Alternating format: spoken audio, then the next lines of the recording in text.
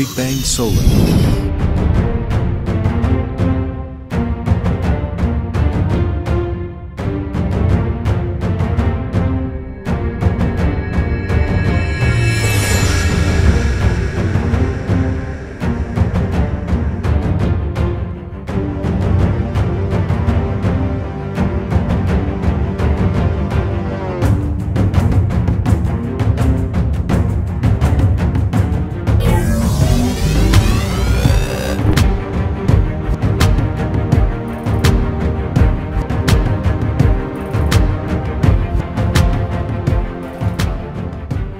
Chào tất cả mọi người đến với kênh điện mặt trời Big Bang Solar.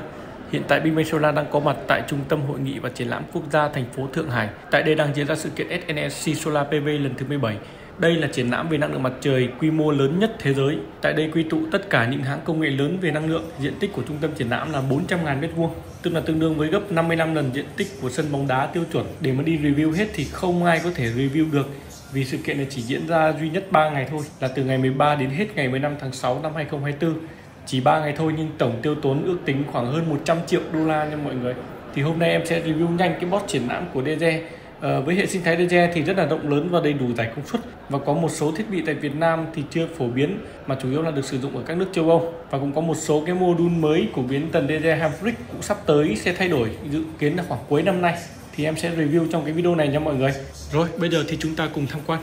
Hiện tại đằng sau mọi người đây là uh, boss triển lãm hãng DJI nha mọi người. Ở đây là khu vực trung tâm, khu vực trung tâm của triển lãm.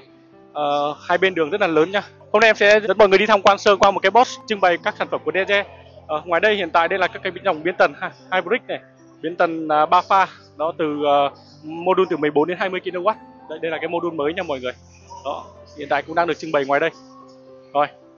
Uh, bên cạnh đây là đây là cái thông số của nó rồi, em xin phép mà cầm cái mic ở miệng tại vì ở đây nó rất là ồn nên là đeo ở cổ thì nhiều lúc mọi người nghe không rõ.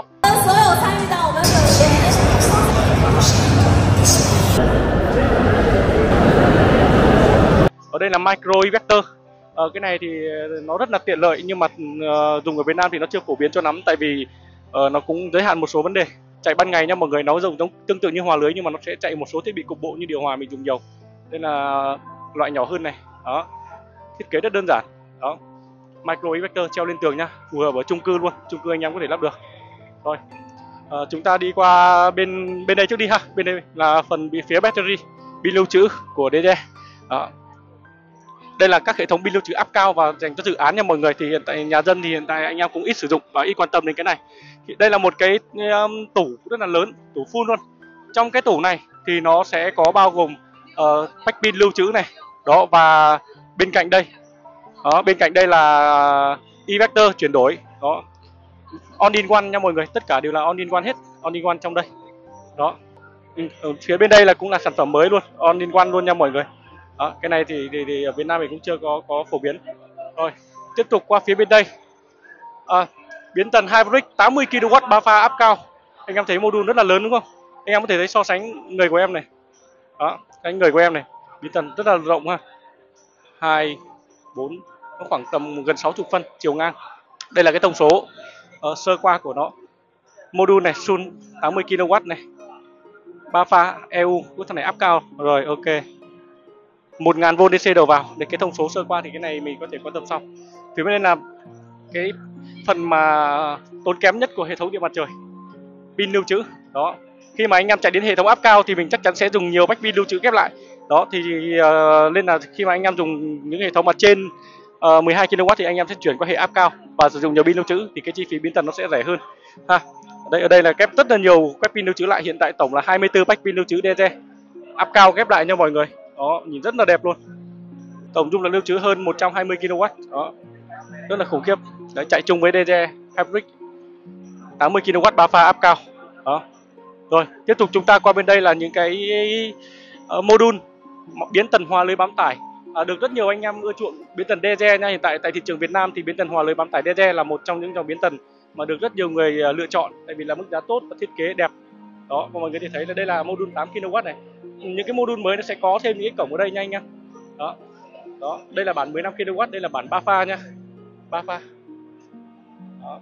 đây là cái thông số của biến tần à, DZ 8 kW. Đây là bản à, bản 4 pha nha mọi người công suất max là được 10.4 kW này. Đó, bản 8 kim module mới thì nhìn nó đẹp hơn bản cũ theo em đánh giá là vậy. Nó vuông vức nó đẹp. Đó đây là bản 15 kW ba pha đó. Bản này dành cho những anh em mà chúng ta dùng nhà dùng điện ba pha và tải khá là đều chúng ta lên dùng nhá. Đây đây là cái biến tần mà anh em có thể thấy này. Thường thì Big Solar hay chia sẻ những cái cái cái dòng biến tần anh em có thể thấy là đây là nhìn rất là quen thuộc với mọi người. Bên đây thì sao? Bên đây cũng là biến tần hòa lưới bám tải luôn cũng của DZ luôn nhưng mà đây là của máy 110 kW thì cái module nó như thế này. Dành cho những anh em mà dùng nhà xưởng dùng cực kỳ nhiều điện thì mình sẽ xài đến những cái thằng như thế này. Và thường thì thì uh, đây là dự án người ta mới dùng thôi dự án lớn.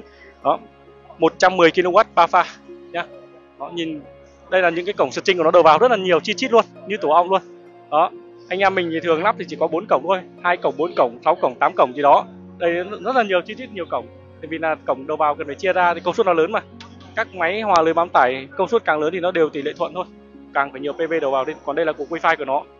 Rồi tiếp tục qua bên đây là trưng bày cái micro inverter. Như em nói với anh em là micro inverter là một cái biến tần khá là hay nhưng mà hiện tại ở Việt Nam mình thì nó cũng chưa có được phổ biến tại vì uh, cái chi phí thì so với hệ hòa lưới thì mình lắp hệ hòa lưới nó sẽ giảm tổng thể sẽ hay hơn. Đây là hệ micro inverter này thằng này là ờ, uh, 800W thì mình tấm điện điện mặt trời vô này vô trong micro inverter chuyển đổi ra AC dùng luôn mọi người. Rất đơn giản đúng không? Không có gì khó cả. Treo lên tường này. Điện mặt trời lắp vô đây. Đấu ra tải nhà họ dùng hòa. Rất đơn giản. Wifi đã tích hợp sẵn xong rồi. Và nó cực kỳ bền luôn. Đó đây là cái phần micro vector em sẽ chia sẻ với anh em sau. Rồi tiếp tục chúng ta qua bên đây là những cái dòng biến tần hybrid rất là quen thuộc với anh em rồi. À, cái này em sẽ xin phép đi một lần lướt qua 12 kW ba pha này. Đó đi lướt qua thôi. Thằng này 12 kW một pha này bản này mới ra trong năm nay. Bản treo tường DZ bia chứ đó 5 kW. Thằng này nữa này wow năm nay ra cái module này nhìn đẹp dữ ha. Nhìn xinh xinh dễ thương. Ờ, à, 51.2V à, 104 AH thằng này là lưu 5.3 kW mọi người. Bản IP đây là bản treo tường bản IP65 nha mọi người. Đây, đây là cái thông số của nó. À, đây là bản 10 kW nha anh em 51.2V 200A tổng dung lượng lưu trữ là 10.2 kW này. Đó rất rất là đẹp đúng không? Nếu mà so với bản năm với cái thằng 5 kg thì thằng này nó to hơn một xíu. Mà dung lượng nó gấp đôi thì mình có thể cân đối là nếu mà lựa chọn thì thầy rất là thiết kế rất là hay. Ừ. đây là cái module mới được hãng uh, ra mắt thì sắp tới uh, một thời gian tới thì sẽ chuyển qua dùng cái module này nha. Thằng này tháo nắp ra thì rất là tiện đỡ phải xài ốc đỡ mất công anh em tháo ra tháo vào. Đó. Cái bát treo thì nó sẽ đổi thành màu đen.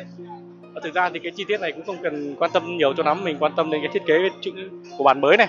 Đây là bản mới chuẩn bị ờ, một thời gian nữa sẽ ra mắt nha. Hãng đợt này họ mới trưng bày ra thôi. Đó cái giao điện bên ngoài thì xài nút bấm bằng casu nha mọi người chuyển qua casu. Đó casu màu đen.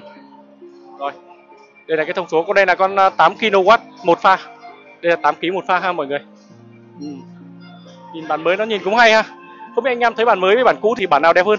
À, đối với em thì em thấy bản cũ nó vẫn vẫn đẹp. Bản mới thì nhìn nó cũng không có gì uh, quá nổi bật nhưng mà nó sẽ tiện hơn. Như cái phần nắp này. Đó. Rồi uh, đi nhanh một vòng nữa ha mọi người tại vì ở boss cũng hơn 5 giờ rồi họ cũng sắp uh, đóng cửa rồi. Đây qua phía bên đây là DD Hybrid 16 kW một pha đây mọi người. Thì bản này ở Việt Nam mình cũng có từ lâu rồi ha. Đó. Ừ. pin lưu trữ DD đây 51.2V 100Ah nha mọi người lại lưu 5 kW đó anh em có nhu cầu có thể song song các pack lại với nhau như này bốn năm pack lại đều được hết nha mọi người. Đó hoặc là mình có thể dùng một phách mình treo lên tường cũng được, bình thường, không sao hết nha. Phía bên đây là hệ thống on in one này, như cái này năm ngoái ở nhà máy DG em cũng có quay với anh em rồi. Đây là hệ thống on in one, thì nó như một cái tủ lạnh thôi. Anh em thể thấy là như một cái tủ lạnh. Tức là on in one là biến tần này, lưu trữ này, tủ điện mọi cái là tích hợp hết, như thế này, không cần phải treo lên tường, không cần phải set up. Tuy nhiên là cái giá nó cũng tương đối là cao, nó cũng chưa phù hợp lắm nên là mình, hiện tại Việt Nam mình thì cũng chưa có được phổ biến, mọi người. Đó. Cổng PV cách các rắc kết nối nhanh. Đây là hệ thống on in one. Dưới đây là pin lưu trữ, trên đây là biến tần này all in one luôn mọi người. Này ở phía châu Âu người ta dùng nhiều. Đó, châu Âu họ dùng rất là nhiều luôn. Việt Nam mình thì à, các hệ thống setup thì nó sẽ tối ưu chi phí hơn chứ all in one thì chi phí hơi là hơi bị cao á. Đó, đây là cái thông số sơ của nó nha mọi người. Đằng sau đây wow chúng ta lượn qua đằng sau một xíu ha. Đây là các cái lá nhôm của DD tản nhiệt này mọi người. Có thêm quạt phụ ở đây nữa. Phía đằng đây thì này nằm dọc. Nằm dọc thì nó sẽ bốc hơi tự nhiên hơn đó mọi người? Nó bốc hơi tự nhiên. Đó. quạt sẽ quay khi mà máy nóng còn bình thường thì nó sẽ không quay nếu mà đủ nhiệt độ chưa đủ nóng. Đây là cũng là một dạng on in one của, của DD nhưng mà là là bản treo tường nha mọi người. Anh em có thể thấy để em xem thông số sơ qua nào. Thông số thì chưa có chưa có ghi ở đây. Ừ, cái này đang là bản mới thôi. Có nghĩa là thiết kế mới. On in one đã on in one mà còn treo được tường như này mọi người. Vừa lưu trữ vừa biến tần vừa tủ điện tích hợp hết ở trên một cục như này. Wow rất là đẹp. Đây là bản bản trước kia là bản để để tường này và xếp chồng lên nhau như này đó có rất là nhiều bản mới DZ họ làm rất là nhiều loại nha. Và như em cũng đã nói với mọi người ờ, uh, DZ ngoài làm các biến tần năng lượng mặt trời ừ, DZ ngoài làm các biến tần năng lượng mặt trời ra thì họ còn làm rất nhiều thứ khác hay ho nữa. Wow 136 kW ba pha. Rất là lớn đúng không mọi người? Thường anh em sẽ xem những cái dòng biến tần hòa lưới nhỏ rồi giờ hôm nay mình sẽ quay những cái dòng biến tần ờ, lớn một xíu lạ lạ một chút để mình xem anh em xem ha. Chứ còn cái những cái dòng biến tần phổ biến thì uh, nhìn mình thấy nhìn thấy nhiều ở các video trước rồi. 80 kW 3 pha. Đó đây là máy 136 kW 3 pha còn đây là 80 kW 3 pha mọi người. Rất là bụng bự đúng không? Để những anh em mà doanh nghiệp chúng ta dùng điện một tháng mấy chục triệu đến một vài trăm triệu tiền điện đó thì mình sẽ lắp những hệ thống như thế này nhá. Đó, tùy vào cái túi tiền của mình. Khi mà lắp lên những hệ thống này thì chi phí nó rất là rẻ. Đó. Như em nói với mọi người là DG ngoài làm biến tần ra ngoài làm biến tần ra thì còn làm rất nhiều các sản phẩm khác như là tủ lạnh này điều hòa này, bơm này, đó, và các thiết bị chăm sóc sức khỏe, máy lọc không khí, máy tạo độ ẩm rất là nhiều nha mọi người. Làm sạc dự phòng nữa. Nhưng anh em thấy đây là điều hòa của DZ đây là điều hòa của DZ nha. Đó, ở Việt Nam mình hiện tại thì cũng chưa về điều hòa DZ đó. Nhưng mà DZ thì đây, nhưng mà ở đây em sẽ quay thêm thêm hết cho anh em, tại vì đây là triển lãm mang tầm quốc tế. Nên là nếu mà ở Việt thị trường Việt Nam mình không quan tâm đến điều hòa DZ nhưng mà nước ngoài như Ấn Độ hoặc Indo hay các nước khác họ qua họ sẽ quan tâm. Nên tầm quốc tế thì có tất cả những cái gì thì họ sẽ show ra. Thực ra ở đây còn rất là thiếu thiếu rất là nhiều nhá ở đây còn thiếu những cái máy chăm sóc sức khỏe nữa. Máy lọc không khí máy tạo độ ẩm rồi uh, robot hút bụi rồi nhiều cái lắm. Đây là điều hòa đây là cục nóng này. AAC DC là vừa anh em có thể chạy DC kết hợp với solar luôn nha tấm pin năng lượng mặt trời. Bên đây là các uh, hệ thống bơm năng lượng mặt trời biến tần bơm nha anh em. Biến tần bơm cho cho cho của DC các công suất như bơm này thì bơm DC anh em bơm trực tiếp dùng điện năng lượng mặt trời để sử dụng luôn. Đó, đây là những cái củ bơm của nó này củ bơm DC nó là bơm DC là điện một chiều thôi không có một pha hay ba pha. Đó xài điện một chiều nha các cái công suất từ 3 kg 5 kg đó 6 kg 7 kg có hết ở đây. Để có rất là nhiều sản phẩm. Đấy, nhưng mà hiện nay hôm nay DD ở triển lãm thì họ không có trưng bày uh, uh, robot hút bụi hay là những cái tại vì ở đây là triển lãm solar triển lãm về năng lượng mặt trời. Nên là chỉ liên quan những cái ờ, cái cái sản phẩm liên quan đến năng lượng mặt trời thì họ sẽ sẽ trưng bày ở đây. Như điều hòa này thì cũng chạy với năng lượng mặt trời này cho tấm pin chạy kết hợp được luôn chạy trực tiếp luôn anh em đó. Còn ngoài ra thì rất nhiều sản phẩm. DJI có cái box rất là lớn em phải men đến canh đến cái giờ này ít ít người lại để đỡ ồn chứ thực sự là cực kỳ ồn. Lúc lúc mà từ sáng đến đến tầm 4 giờ chiều là nó ồn nào quá đông người nên là không quay nó nó khó mọi người. Đi qua đi lại rồi rất là khó bất tiện nên là giờ, giờ em mới quay được. Bây giờ thì họ cũng nghỉ rồi sáng giờ sự kiện nhiều lắm tặng quà rồi các thứ rất là nhiều tín đồ mê công nghệ đi qua là đứng ở đây nhìn rất là nhiều ha. Rồi ngoài ra thì bên cạnh đây thì có Growatt này Suzhou này Bentley này. Ở rất là nhiều cái hãng công nghệ lớn. Đó, hãng công nghệ về solar lớn thì họ sẽ ở đây. Và ở đây thì cực kỳ rộng lớn, em muốn đi hết với mọi người nhưng không thể đi được. Nếu mà đi ba ngày liên tục thì có thể là đi không hết luôn. Sáng, mấy ngày nay đi rất là nhiều nhưng đi không thể hết được mọi người. Cực kỳ rộng lớn, ha. Đây là cái triển lãm lớn nhất toàn cầu nên là được rất nhiều anh em ở trên thế giới đi đổ về, ha. Đấy, gặp người Việt ở đây thì rất là ít. Trung Quốc thì cũng có nhiều nhưng mà ngoài ra còn rất là nhiều các nước khác nữa. Rồi video của Big Bang Solar đến đây là hết. Ờ, cảm ơn anh em đã quan tâm và theo dõi. Hôm nay thì em cũng tranh thủ quay một cái video thật nhanh. Ờ, hẹn gặp lại tất cả anh em trong những video lần sau của Big Bang Solar. Rồi, xin chào mọi người. Các video sắp tới chúng ta sẽ đi tham quan một vòng những sản phẩm như robot lau pin, dàn pin cho vùng mưa bão và đồi núi, tấm pin có thể bẻ cong, tấm pin dạng mái ngói, cách ốp tường nhưng mà vẫn phát ra điện, uh, vân vân rất nhiều sản phẩm. Chắc chắn là trong quá trình tham quan thì gặp gì hay em sẽ quay video hết lại và chia sẻ với anh em.